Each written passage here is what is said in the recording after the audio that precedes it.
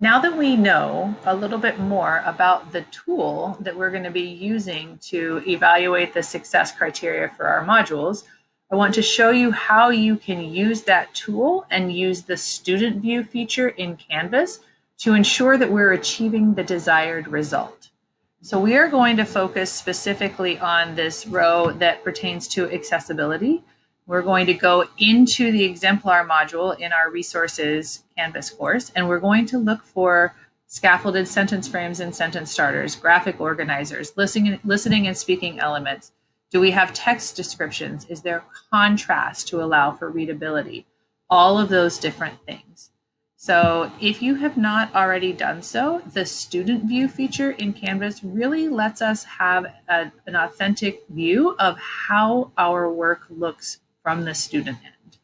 Canvas has a lot of amazing features, but there are some times when there's one little thing that we haven't done and then it doesn't look the way that we expect it to. And we often get caught in class with a student saying, I don't see that paper, or this is not working the way it's supposed to work. So if we look at all of our work from a student view before we put it out in front of the students, it really helps to avoid those situations. I am now in student view, which you can find on the home page of Canvas. And I know I'm in student view because the frame of my Canvas dashboard is outlined in purple. So now all of the other menu items have disappeared because in this module, all the students can see are the home page and the modules page. So I'm going to click on modules. I'm going to find the social science module and I am going to look at day one, basic economic principles. So going back to my checklist, do we have scaffolded sentence frames? Do we have graphic organizers? Are there listening and speaking elements? When we have images, are they supportive of the content? Are there text descriptions? All of these things. So coming back, we see, okay, so in student view, I see that my icons aren't showing up. So I know that I'm gonna have to go back and fix that connection. Um, but the task to reflect is, is in bold. Then we have the questions that we want people to consider, that we want students to consider are italicized. So we have that visual discrepancy to show the students that there's something that they may need to pay attention to. Um, additionally, we will see that there are not a lot of words in the instructions. It's very straightforward.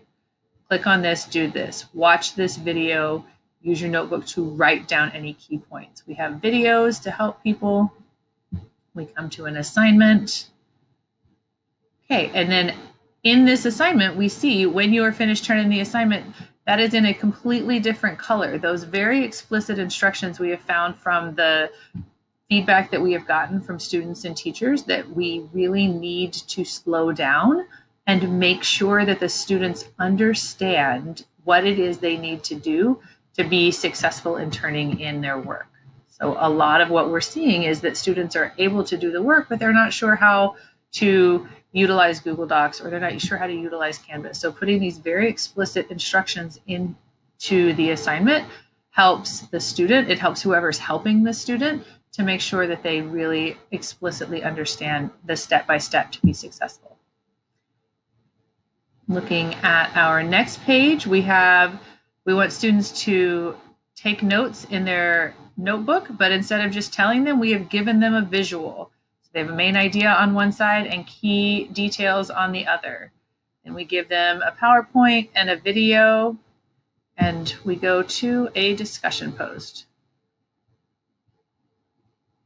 Again, when we give students a discussion post, we are giving them very explicit instructions and we are showing them an example. Okay, so submit your answer as a list of 10 matching up an example with each of its appropriate categories. So we have a visual, we have instructions in bright blue for submitting their answer, and then for what they need to go back and do afterwards.